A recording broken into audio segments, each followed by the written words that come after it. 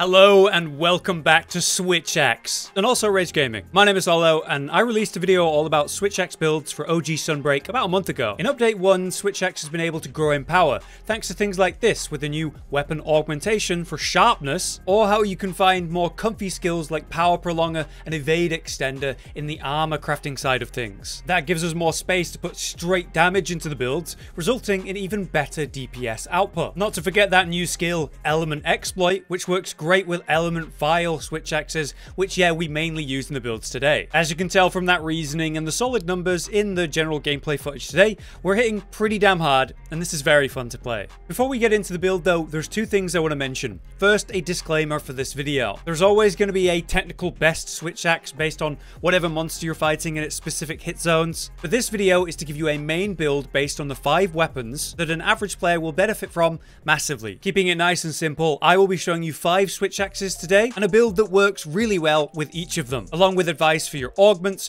your armor crafting, and of course the rampage decorations. I'd like to also thank Josh for all the help with the builds in this video. We worked together to come to these conclusions. We had a big back and forth for this video, so credit to him for all the help. I'd also like to give a shout out to Fox Invictus, who dropped some very good details in the comments of my original Switch Axe build for Sunbreak. Fox also creates fantastic videos for Switch Axe in general, be it speedruns or extremely detailed math breakdowns for the advanced information side of Switch Axe. If you're interested in that at all, please check out Fox's channel. Lastly, I want to give a congratulations to Kage, or is that pronounced Cage, who joined Team Darkside recently. I've been watching their Switch Axe speedruns to learn how to play the weapon, and this person, they're a machine. I really recommend their videos if you want to watch some speedruns. With all of that out of the way though, let's get into the builds at last. To begin the build, I want to talk about a couple of key aspects of Switch Axe you need to understand. Switch Axe has bonus damage tied to which vial type you're running. Power and element vials are the kings in Sunbreak. Four of the five weapons I'll talk about today are element vial weapons, which all benefit nicely from that new skill, element exploit. This triggers when attacking a monster part with an element weakness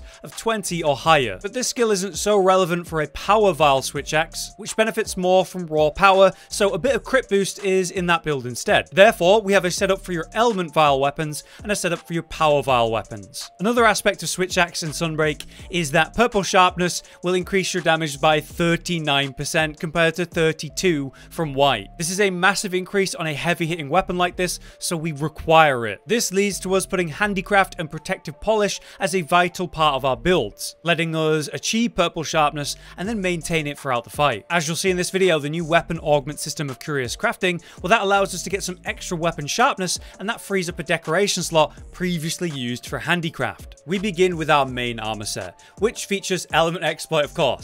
This is the set you'll be using most element vial switch axes for. As you can see, the helmet is the Malzeno's, we have the silver Rathalos chest piece, the golden Rathian gloves, the final boss's waist, and Malzeno boots once again. This leaves us with a lot of really, really nice slots. That plus our decorations, talisman, and hopefully curious crafting will lead to a nice big list of skills as you can see. 7 out of 7 attack boost is incredible. We want 5 of the current element we're using and its attack. 3 out of 3 weakness exploit super important. Protective polish 3 out of 3 that's going to give us our sharpness maintenance. Speed sharpening to get that going even faster. Rapid morph being vital to any switch axe build. Chain crit just increasing our damage greatly. This time we have handicraft at 2 levels instead of 3. 3 levels is required to actually reach purple sharpness with many of these weapons but we're only using 2 because we're now able to augment our weapon to give us sharpness freeing up a slot. The second page, not too relevant, just little bonuses or things we're getting from our armor, and the element exploit on the third page. To achieve these levels though, as you can see, I am decorating like this. Attack jewel in the weapon, attack jewel in the helm, and the sharp jewel for the protective polish one level. In the chest piece, we have the sharp jewel plus four to get us the rest of protective polish. There's one of our handicraft jewels, we only have two, the bonus grinder. There's the other handicraft jewel in the gloves, and very importantly, one level of rapid morph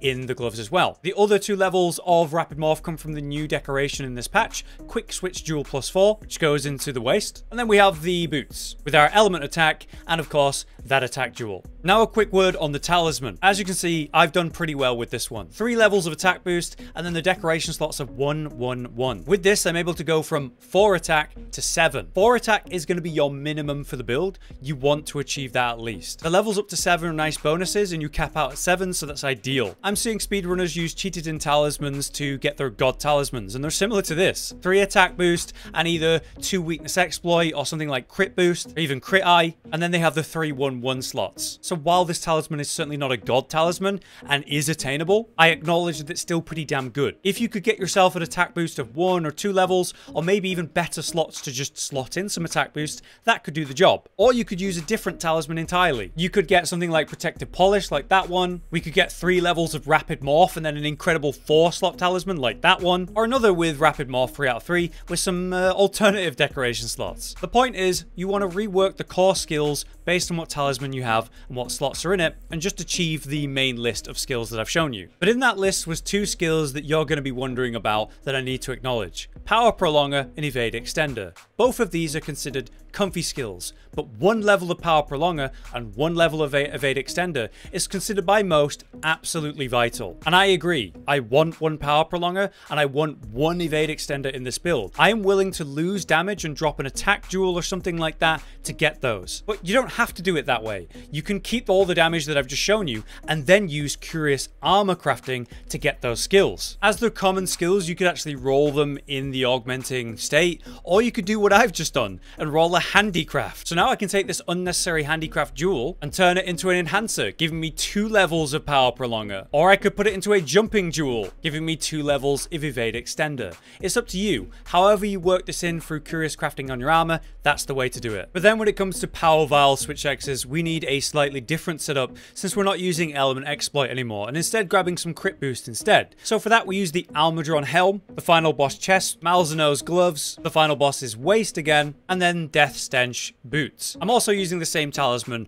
and the same principles apply here when you're using talismans. Ultimately this results in 3 out of 3 critical boost as well as the other skills you've seen in the build already. Once again though you want to work in evade extender at least level 1 if that's something that you will benefit from which I'm sure you will. And we do that through curious crafting. But just so you can see at least in the video these are the slots that I have and what's currently in it. I will explain rampage decorations soon. The last thing I need to talk about in regards to equipment then is of course dereliction. That skill that drains your health over time but gives you extra power in return. A lot of people hate this skill because it's very invasive on the gameplay. A lot of people really like it because hey more damage and they can put up with the health. So we just have to acknowledge it in this video. If you want to run dereliction then you should take either of these builds that I've shown you and replace the legs. Putting in the final boss legs which will give you that dereliction you need and then a 3-2-2 slots for the decorations. Using those decoration slots you then recover the skills you've lost as best you can as well as curious crafting the armor to recover the skills. But that's as simple as we can put it. Next up then it's time to talk weapons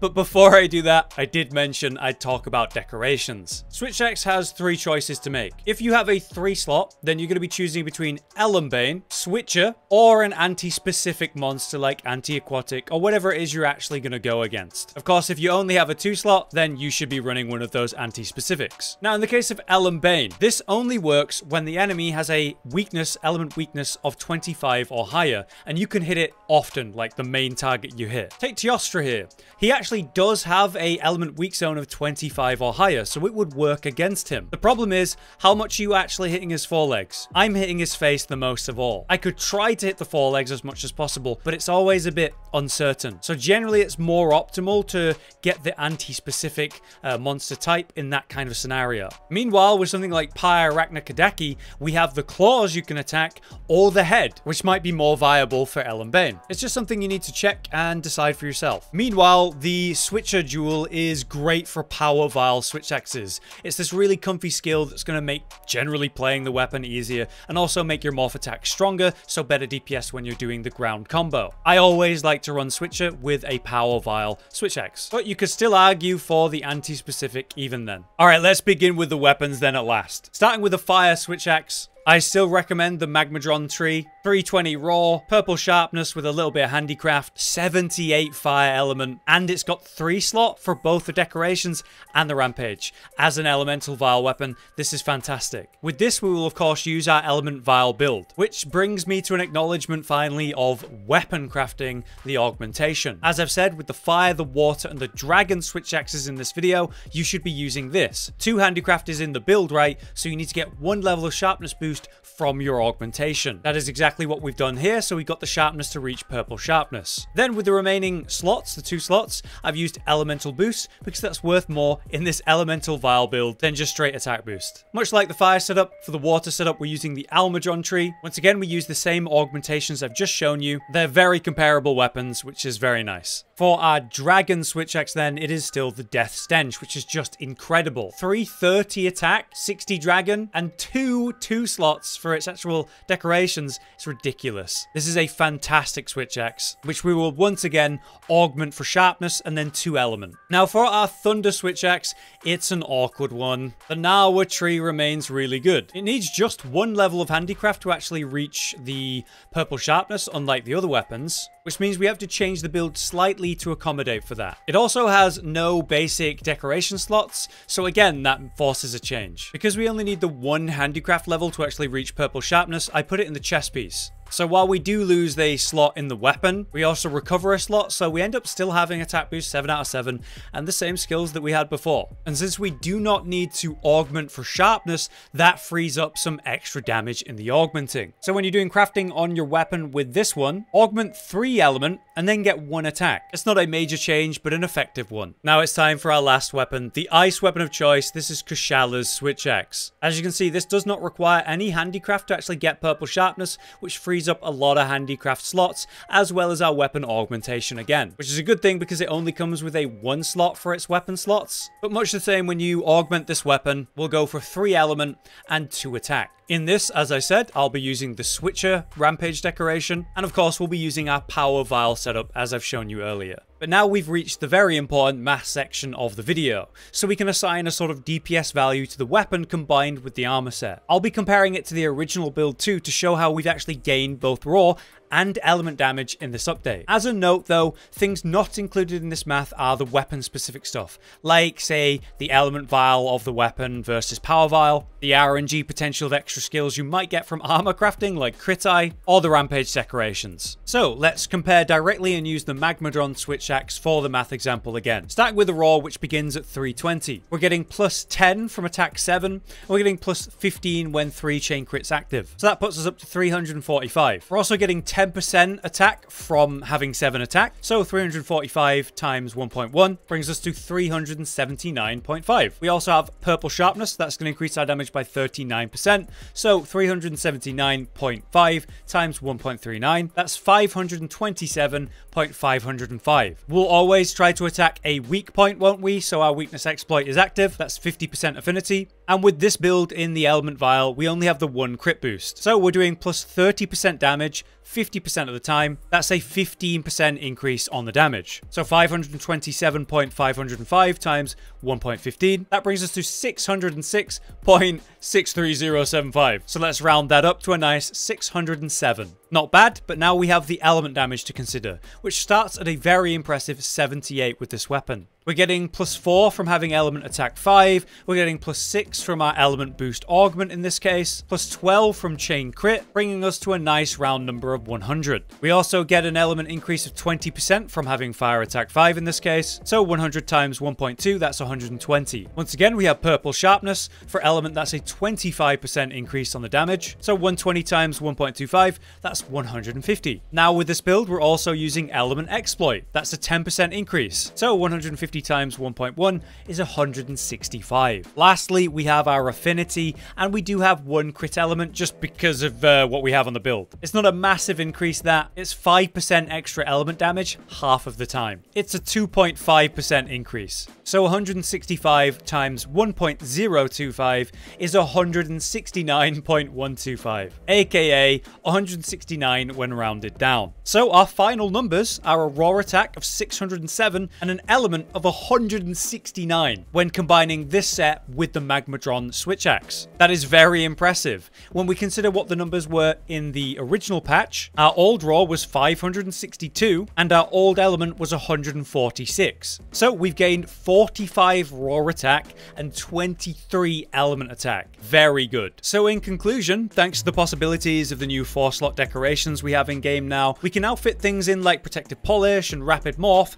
even easier into the build build, which of course leads to more damage potential. Not to mention things like the augments of our weapons for sharpness or extra comfy skills without sacrifice like evade extender, freeing up even more space as well. So overall, this has been a fantastic update for Switch Axe, be it for the power or the convenience of the weapon. We've done really well in Update 1. If you have any extra advice or details to consider for Switch Axe gameplay and builds, please do drop them in the comments. But I hope this updated version of my original Switch Axe build has been good and clearer. If it was and it's been helpful to you, then please do drop a like on the video. These videos take a lot of work, so it would really be nice of you to do that. For now though, I've been Hollow, you've been you, thank you very much for watching, and I'll see you next time.